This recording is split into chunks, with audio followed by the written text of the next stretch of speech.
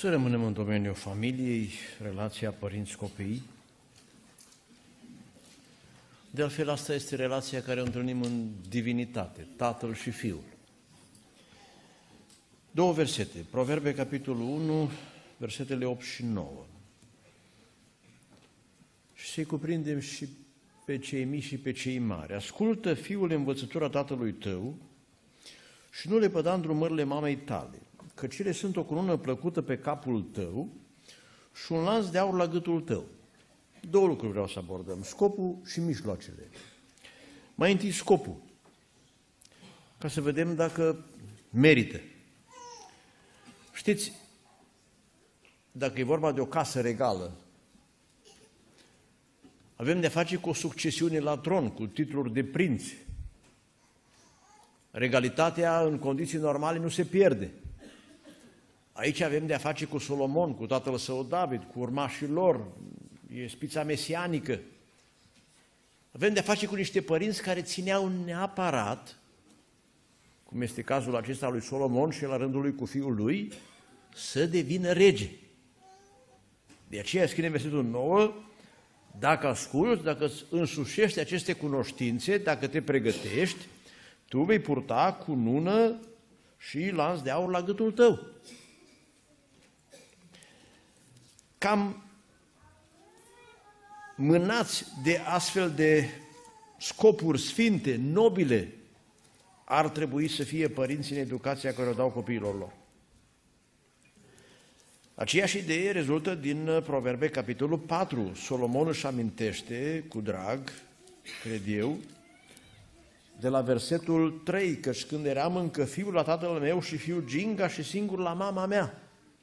Știți că David a făcut la Batseba o promisiune, fiul tău va fi pe tron. Nu știu când s-a declanșat acest gând în inima lui David, dar se pare că îl pregătea deja. El mă învăța atunci și îmi zicea, păstrează bine, dobândește înțelepciunea și tot înțelepciunea îi spune, până când zice în versetul 9, ea îți va pune pe cap o cunună plăcută, te va împodobi cu o strălucită cunună împărătească. Și într-adevăr, David a reușit în acest obiectiv, în acest scop. Solomon a purtat coroana regală. Dar aici scrie și de mama, nu numai de tata. Că e foarte frumos amândoi să urmărească același obiectiv.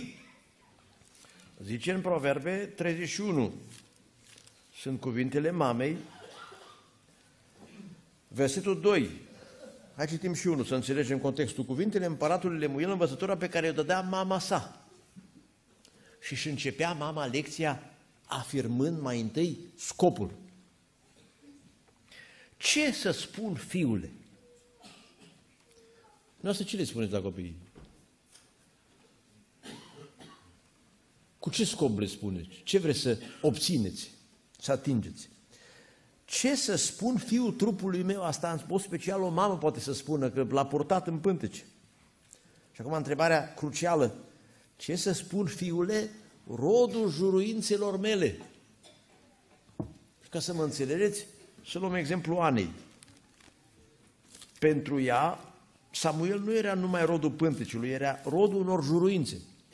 Scrie în cartea Samuel, capitolul 1, uh, ea a făcut Domnului următoarea rugăciune, făgăduințe, versetul 11, dacă vei aduce aminte și nu vei uita pe roaba ta și dacă vei da roabe tale un copil de parte bărbătească, iată juruința îl voi închina Domnului pentru toate zilele vieții lui și brici nu va trece peste capul lui. Nu exact ca și Anei. Da, surorilor, taților, de ce nu? Ce v-ați dorit să fie copiii dumneavoastră? Ce v-ați dorit încă înainte de a se naște? Să nu spuneți că n-am știut că o să rămân însărcinat, nu ne-am așteptat. Să nu spună cineva, păi ne-am, ne dorit să nu fie. Am auzit și astfel de situații tragice zilele astea. Spunea o beată mică, și nu mi l-am dorit pe copilul ăsta. Ce să-ți dorești pentru ce n-ai dorit deloc, nu? Noi nu ne vom dori să fie rege.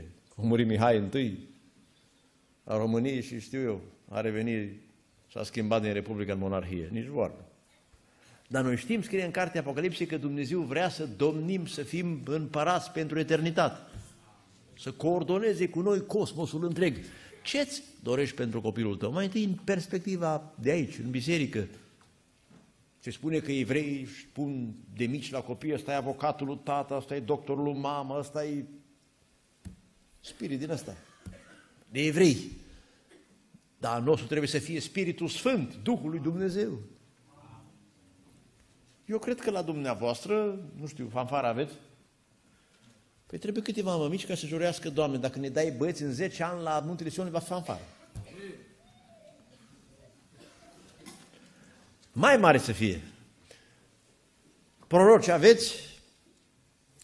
Doamne, dacă îmi vei da un copil, îl cresc în spiritul acesta cum era la școala profeților. Vreau să ridice în adunarea noastră, Doamne, profeți. Ce vă doriți? Pentru că totul pleacă de la scopul care îl avem. Pare rău să constat că sunt părinți care vor să facă din copiilor sportivi de performanță. Mare realizare, nu? Câștige medalia de aur la Olimpiadă. Și după aceea, slavă de carton. Nimic mai mult. Dar cei ce vor învăța pe alții să umble în neprihănire, vor stăuci ca stele în veci de veci, scrie în cartea Daniel și reia în 1 Corinteni 15 Apostolul Pavel când vorbește despre postura noastră de după înviere.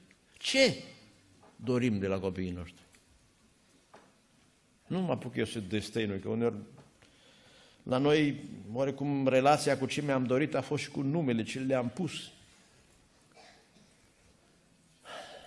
Dar pun unii părinți nume de actori din filme și îmi doresc, oare își doresc aceia care, să nu spuneți mie că n-au vizionat filme, când au pus nume de la nu știu ce actor din filme. Uneori frați mai bătân la binecuvântare, nu știu cum să citească, că e dublu V, citește în germană și zice V sau în engleză și zice U. Ai, poate fost ceva nume de evanghelist și nu l știu noi din germană, știu. George Müller, născut în Germania, trăit în Anglia și a îngrijit de orfani. Spui, Doamne, dacă vei da un băiat, vreau să fie cel care să aibă grijă de toți orfane din județul Hunedoara. Ce vă doriți să devină copiii dumneavoastră? Dumnezeu, ca unul care vrea să ne nască pentru împărăția sa, are și El posturi pentru noi, are dorințe, vrea să scoată din noi ceva? Vă amintiți ce a spus Dumnezeu despre Ieremia? Asta ar fi marea frumusețe să îți descopere Domnul într-o zi ce va fi cu copilul tău și tu să zici, Doamne, exact și eu la asta m-am gândit.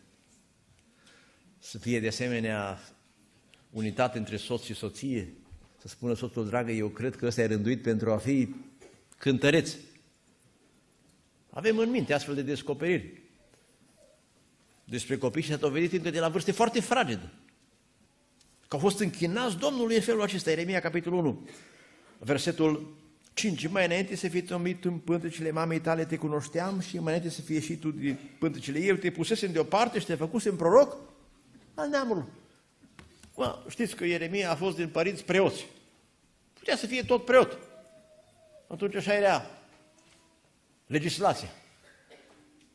Dar oare și-au dorit părinții lui să-l vadă tot proroc?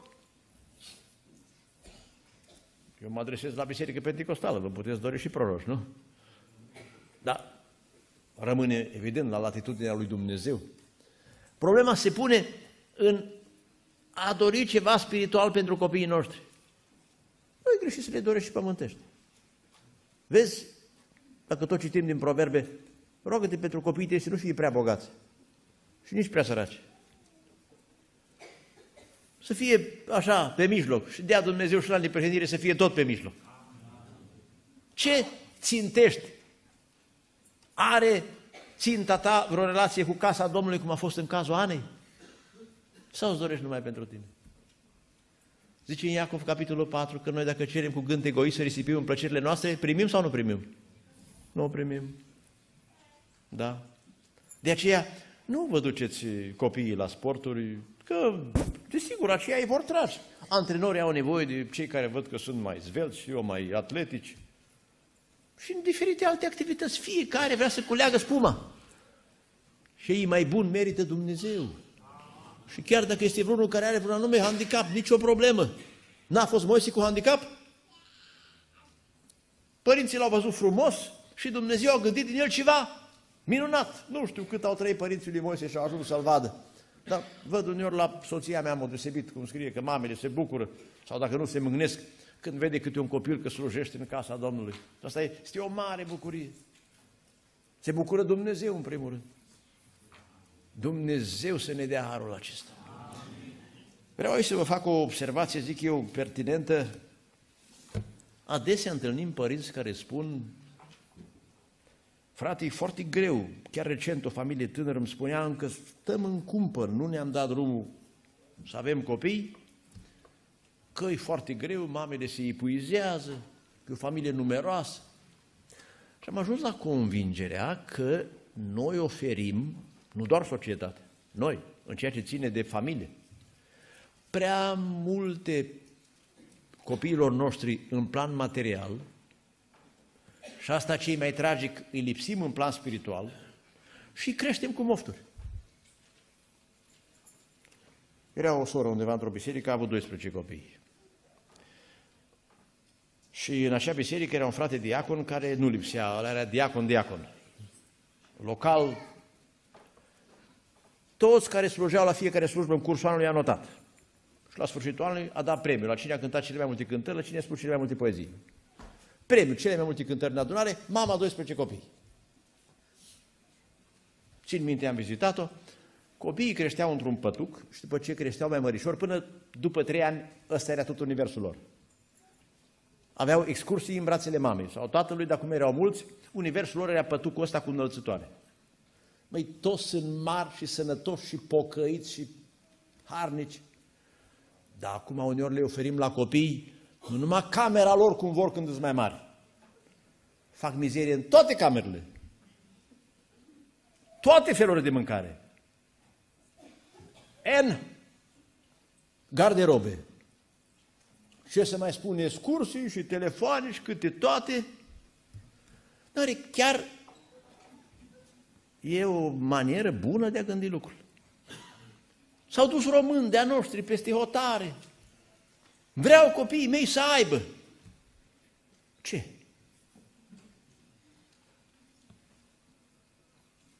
Scopul contează întâi. Și când pui un asemenea scop, asta nu înseamnă să-i dai în plan material copilului tot ce își dorește. Ascultați-mă ce vă citesc din Deuteronom, capitolul 8, cum și-a crescut Dumnezeu copiii. I-a luat pe evrei din Egipt și a spus, Israel este întâiul meu născut. Cu alte cuvinte, așa a început Dumnezeu de la primul. Deuteronom, capitolul 8, citesc de la versetul 2. Adu-ți aminte că în timpul acestor 40 de ani Dumnezeu te-a smerit să te încerce, să vadă dacă se păzești sau nu poruncii lui, te-a smerit, te-a lăsat să suferi de foame, nu să mor de foame și nu s-a întâmplat să nu le dea vreo zi mâncare. Te-a hrănit cu mană pe care noi cunoșteai istorii și părinții tăi, ca să te învețe. Deci Dumnezeu a fost un învățător, dar învățătura nu le-a dat-o Dumnezeu în belșug, din potrivă le atrage atenția în același capitol. Vedeți că o să vă dau și în belșug, dar au să uitați. Versetul 11, vezi să nu uiți. Iată ce scrie versetul 4. Haina nu ți s-a învechit, am o întrebare. Ce nu putea Dumnezeu să le dea și haine noi cum ne-a dat mană în fiecare zi? Chiar trebuie copiii noștri să aibă atâtea haine câte le cumpărăm noi? Mi se pare că facem greșeli multe. Jucării, să duci cu remorcă. Chiar asta are de-a face cu scopul pentru care vrem noi să creștem? Că să nu mai spun că și jucăriile astea uneori sunt monștri și pistole și, cum zicea o soră în vârstă, mare lucru ăștia să nu prindă războiul, că prea cu pușcăturile. Da, da. Recunoaște, dar în inima ta că Domnul Dumnezeu tău te mustră cum mustră un om pe copilul lui. Și dacă vă amintiți, vă spuneam înainte de versetul în Efeseni 6 cu 4, acolo e trecut întâi, să nu întăriți la mânie, de să fii tu un sfânt pentru ei, doi, să crești în mustrarea și în învățătura Domnului, adică să nu-i lași să facă ce vor. Pentru că omul este înclinat spre rău. Mentalitatea vremii noastre în Europa și în Occident, în mod deosebit, este să lași pe copil să facă ce vrea. Recent, în Biserica Anglicană, a acceptat dreptul băieților de a purta tocuri și fustițe. Biserica Anglicană, nu vorbim de societatea laică. Că cine știe ce vor vrea să fie mare? Un profesor din Anglia are probleme, este în instanță, pentru că s-a adresat la niște fete numindu-le fete. Că poate nu ar fi fete. Vă dați seama? Unde se îndreaptă lumea asta? Să luăm așadar modelul lui Dumnezeu, a avut un scop. Și scopul acesta este enunțat de Sfânta Scriptură și l-am amintit deja și noi de altfel îl știm, să ne ajute Domnul să țintim Sfânta Lui Împărăție. Când asta îți propui, se schimbă metodologia. Revin la versetul din Proverbe, spune aici despre învățătură a tatălui, a mamei, o învățătură potrivit cu vârsta constatăm uneori că avem probleme în ce privește vârsta la care trebuie să învățăm pe copii anumite lucruri. Întreabă unii frate, dar când să învăț pe fata mea de viața intimă? Cum să mă raportez la băieți? M-a sunat o soră Că o sunase la rândul ei o altă soră din Scandinavia, zice, am mers la grădiniță să-mi iau fetița și nu era acolo, în sala mare. Era în altă sală dezbrăcată și un băiețel ca și cum ar face injecții. Măi, copii se joacă, na, nu pricep. Altă sară, altă zi, mă duc după ea tot în aceea sală. Și atunci, oarecum, a fost indignată mama, revoltată, dar doamna educatoare, dar ce fac copiii acolo, dezbrăcați? Și da, dar acolo pentru asta e sala, să se dezbrace, să se cunoască. Și a luat copii și a venit în țară. Da. E tragedie ce se întâmplă. Tot ce mai putem să facem este acasă și la adunare. Doamne, dă-ne ajutorul Tău. Amin. Ne rugăm și pentru țară să mai pună Dumnezeu opreliști. Să nu vină puhoiul acesta de nebunie. Mentalitatea asta care nu are nicio țintă. Nu știu ce e de făcut. Am urmărit ce spun statisticile chiar în lumea studenților, în Anglia, de exemplu. Se sinucid. Spune, pentru ce să trăiesc? Sunt premiant, am voie să mă duc să studiez mai departe, studii post-universitare, dar ce sens are viața? Și nici nu știu ce ar trebui să fiu, băiat, fată, besmetici. Cum se spune despre albine, că nu mai știu în ce stup să intre. În Proverbe, capitolul 4, au amintit că îl învăța pe Solomon când era un fiu gingaș, singur. În Proverbe 31 am citit că îl învăța mama cum ar trebui să fie o femeie. Am fost surprins să fiu abordat de o familie tânără care, nu pot să dau aici amănunte, evident, o femeie măritată la 20 de ani, efectiv nu știa cum să se raporteze la bărbat. Bărbatul avea probleme. Și am întrebat-o, mama ta a vorbit vreodată cu tine ce înseamnă să fii femeie, ce e la bărbat? Nu. Tu n-ai întrebat-o. Mi-a fost rușine. Și uite așa, învață de pe net. Sau îi vor duce alții în eroare. O învățătură potrivit cu vârsta, cu specificul, băiat, fat. Să-l pregătești ca tată, să-i spui, este ceva absolut normal tu să fii băiat. Tu ca fată ai chemarea ta în viitor, vei fi soție, vei fi mamă, vei avea un rol să le dezvăluim această lucrare a tainei lui Dumnezeu, a lucrărilor sfinte. De aceea, stimați părinți, nu doar munciți, prioritar în Biblie, sau spuneți-mi dacă e altfel, să nu mai învăț și pe alții greșit. Ce ați citit dumneavoastră în Biblie? Care e cea mai mare datorie a părinților ținând cont de scop? Și apoi vorbim de mijloci.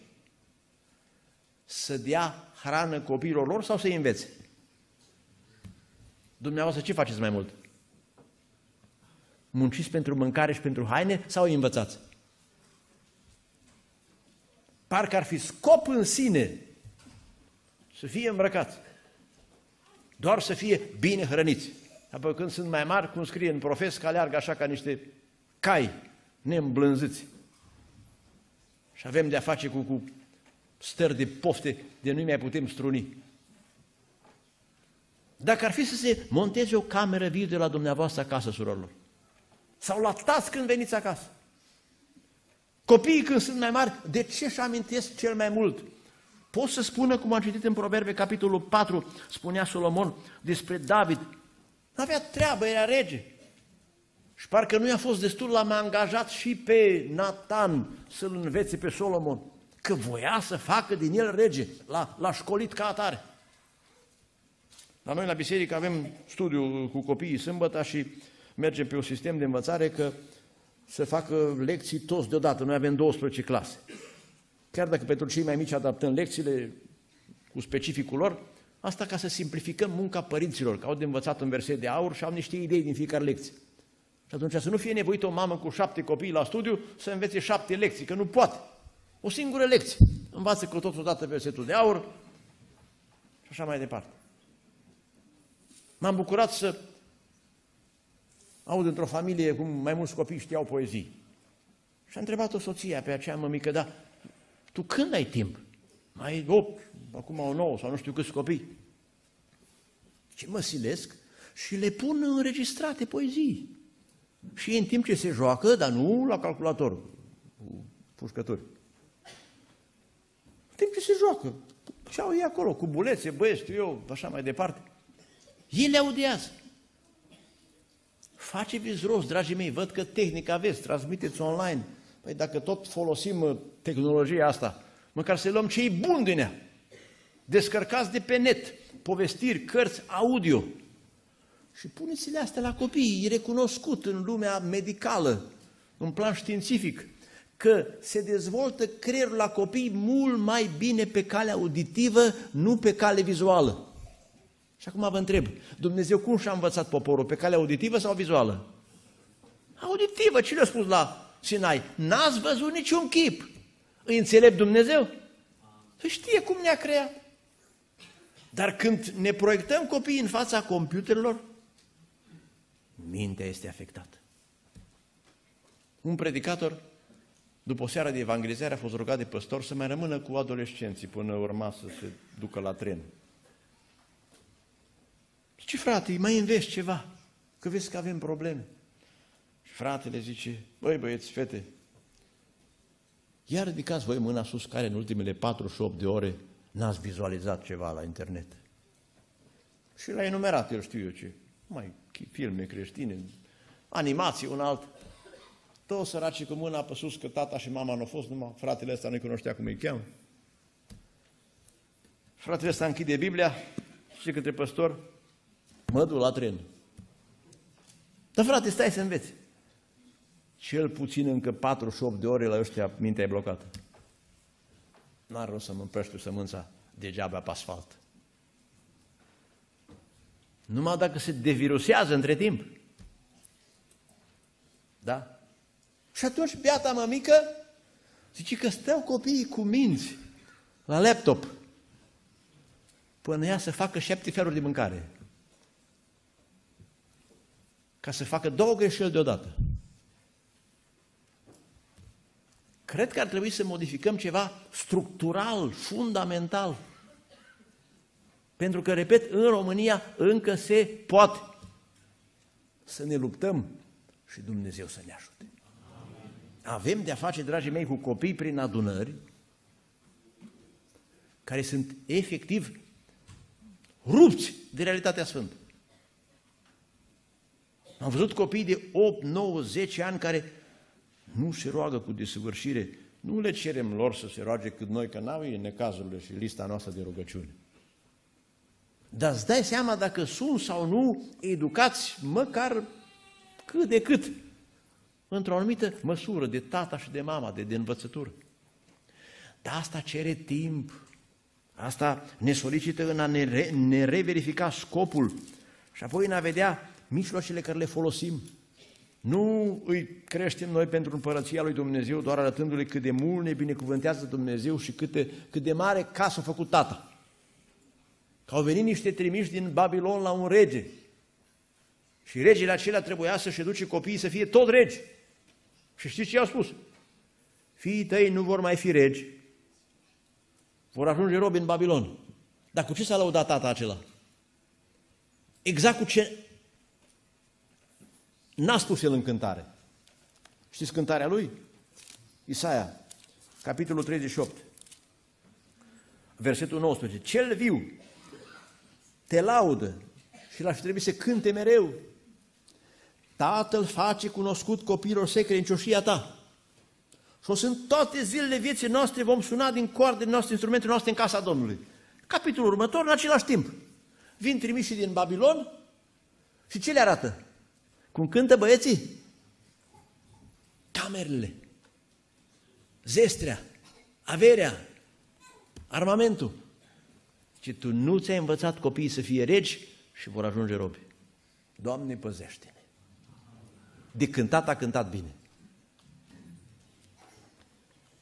Nu știu dacă, sper să nu se întâmple, să, și mai sunt cântările, cântă copiii la binecuvântări, că așa am cântat mămica mea, așa am învățat tata, să nu aveți vreun copil foarte inteligent care să spună că de mama nu-i drept. Cum s-a întâmplat undeva într-o adunare, că un predicator a zis că sunt unele femei care în loc să ocupe de copii, așa cum am predicat eu în seara asta, așa am fost îndemnat să vă spun. Aș fi vrut să vă, să vă laud, să spun ceva mai bun. Poate să de laudă, poate am predicat numai preventiv.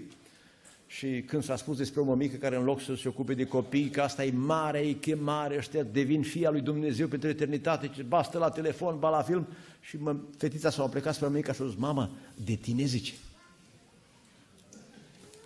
Deuteronom, capitolul 11, dragii mei, spun asta și am încheiat. Să avem timp să rostim o rugăciune întreagă pentru binecuvântare aici. Deuteronom 11. Puneți-vă dar în inimă și în suflet aceste cuvinte pe care vi le spun să le legați la gât, o, de le-am legat. Ca aducere aminte, pe mâini, ca niște fruntari între ochi, să învățați pe copiii voștri, să le vorbeți când veți fi acasă. Trăim într-o vreme în care vorba cuiva, nu copiii pleacă cel mai mult de acasă, părinții. Firma, frate. Dar Ăsta e scop? Ca să avem așa mijloci? N-ar fi mai bine tu să rămânem mai săraci. Poate chiar că ne-a rugat mai mult dacă am fi mai săraci. Dați-mi voie să vă spun o scurtă experiență. În urmă cu 18 ani, într-o localitate, cunosc datele problemei, s-au hotărât frații să umple o căruță așa mare, Bucovina s-a întâmplat asta, cum spune un faiton, cu bunătăți, să trimite la o familie. Și un frate care a coordonat a zis, m-a rugat, era proroc, îl știu, a zis, mergem până unde se opresc caii. Și au mers câteva sate. S-au oprit noaptea în dreptul unei case mai sărăcăcioase, sus fratele aici, debarcăm tot, pune și bani ce aveți, plecăm. Și cel puțin unul din cei ce erau acolo cu cai, din cei ce au contribuit, au zis, da, cum adică îl lăsăm așa în stradă? Că așa a avut fratele îndemn, că unde se opresc caii? Și caii ne conduc. Măi, așa au fost cuvântul, Dumnezeu a folosit de animale, știți, nu numai o dată. Vacile au mers direct, cu chivot, unde trebuia. Și au trecut 18 ani. Și într-o țară din Europa stăteau la masă între care doi și unul povestea. Am rămas 13 copii orfani și într-o seară nu mai avem ce să mâncăm. Și țin minte că mama ne-a spus, copii, ne rugăm, Dumnezeu nu uită de noi. Și dimineața când ne-a sculat pe pătură în fața ușii, zice, eu cu fratele meu că eram mai mare, am cărat, am umplut cămara și au fost și bani. Și știți la cine povestea? La ăla ispitit că de ce l-a lăsat acolo. Că Dumnezeu lucrează.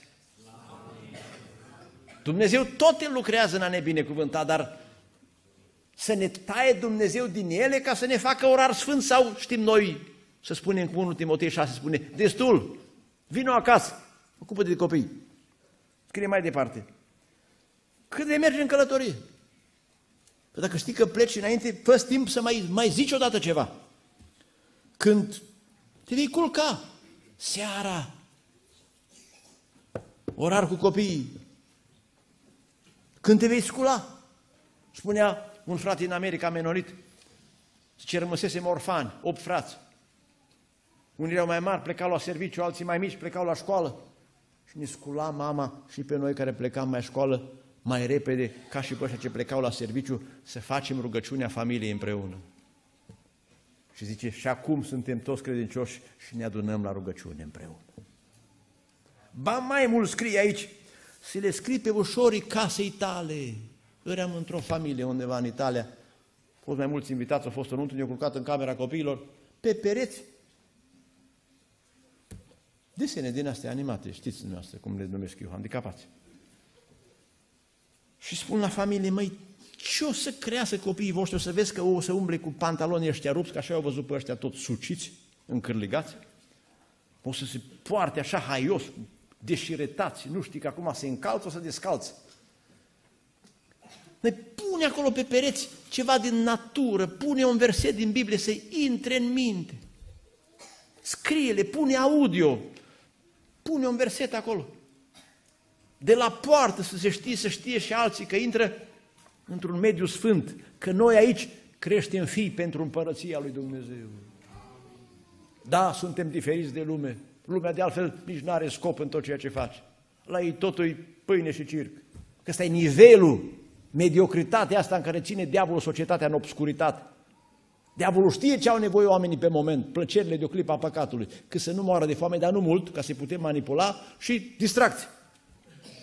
Copiii noștri nu sunt doar pentru prăjituri și pentru jocuri. Copiii noștri pot să poarte coroană cerească.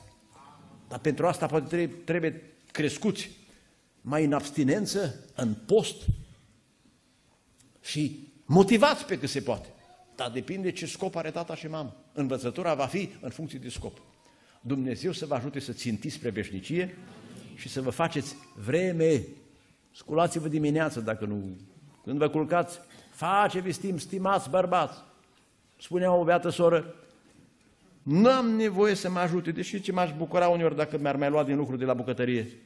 Că poate și acolo tot iară mofturile astea multe. Dar măcar când vine acasă să-l văd că ia copiii, că învață cu ei un verset, că se ocupă de ei, până mici, până benzile libere, dragii mei.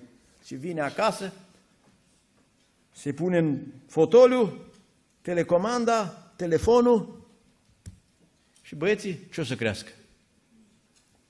Mari informaticieni, nu? Poate. Doar atât?